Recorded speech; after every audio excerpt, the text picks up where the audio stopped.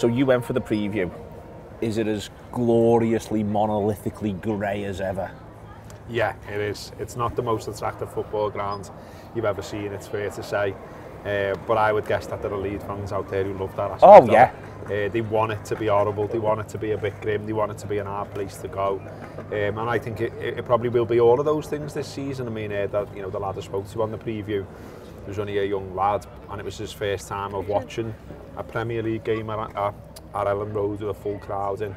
Uh, but I think as the season wears on, that you know that will that will play a part, no doubt about it. And I think it'll play a part in this game because this is their first big game at Elland Road because Everton wasn't big, obviously. Because No, it's Everton. Uh, Everton, the, the, the, lad you spoke to is young, and these two people are young. Yeah.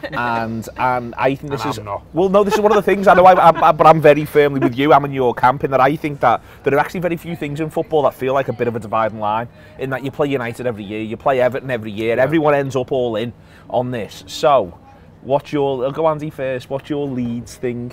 Have you got a Leeds thing? What? Where, where are Leeds in the in the Bell consciousness? No, it's a, it's a it's a weird thing because uh, like especially um, back over in Northern Ireland, you you get all the teams who you know most people either support Liverpool or Manchester United, but you get the odd glory hunter from the 80s and the 90s when teams used to be good. Like you'll get the odd Forest fan, you'll get a few Leeds supporters, a few people my age support Leeds because their dad supported Leeds, and This is some really failing at glory hunting, isn't it? this is this is this is this. They might have been attempting glory hunting, but this is bad That's, what, glory that's what. I was saying. Like I, I remember tweeting in, in 2016 when Leicester won the league. There, there are kids all over the land here that are about to make the worst decision of their lives, aren't they? So uh, no, I don't really have a Leeds thing. I guess they were they were always Championship when I was when I was growing up. I don't ever remember them in the, in the Premier League before. Did they go down to League One for a season? Yeah. D- uh, or if I dreamt that, yeah, they went down to League One. What a year!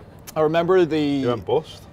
yeah, yeah, yeah. and bust I and went remember down to League the One. I remember the year they they went to Old Trafford and knocked them out of the cup.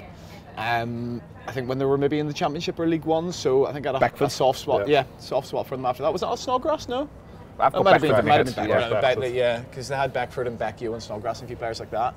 Um, so no, don't really have a, a big thing with them. It's, I guess similar to Man City when they won the league. For a while, I had a soft spot for them because they they basically mugged off Manchester United. Same thing with Leeds in the FA Cup. But no, they, they don't really annoy me at all. Um, which I think is the wrong answer for you. No, it's not the wrong answer. it's not- I'm intrigued. What about what about you? What's what's Andy the- said he didn't have a Leeds thing and then told a whole story about like Leeds and growing up and stuff. And I, I genuinely do not have a Leeds thing. Like when were, when were they actually last in the Premier League? Obviously, apart from last season, was it? Seven, 17 years ago. 2004. Right. Okay. So I would have been quite young and not.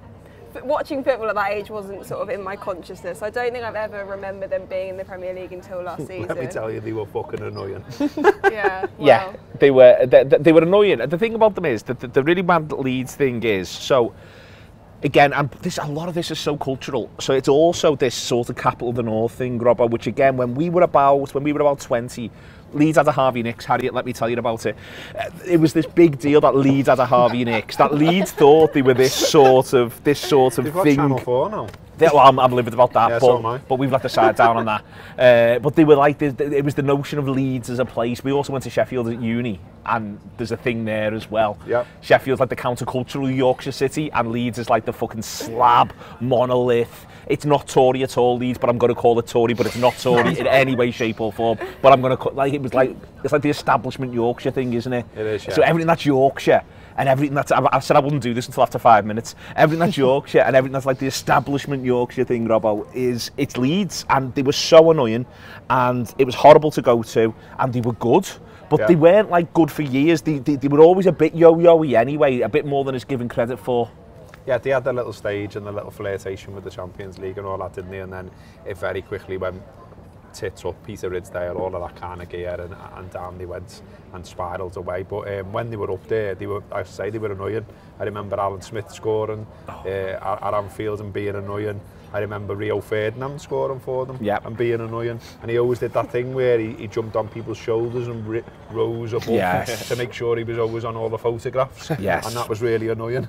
Um, and and it's it's not a rivalry as such because it can't be when they've be, they disappeared for so long. But there was always a little edge, not not a Man U or Everton edge, but a little edge. And there's always been a thing about that I think it's dead funny and I like it about ripping clothes when it's Leeds. Yep. Like it's always been a thing for, forever. For, go all the way back to like the end. Yep. You know what I mean? There's stuff in the end talking about Leeds' clothes, someone wearing a sheepskin, you know, whatever it might be. Yeah. And I always think it's dead funny. When they went I mean? down, was it particularly Yep. controversial and like shocking when they went down, or was it more just It had been so. It was. It went from if like if you'd have said two years before yeah, they're gonna go down in two years, you'd have gone no fucking way. right?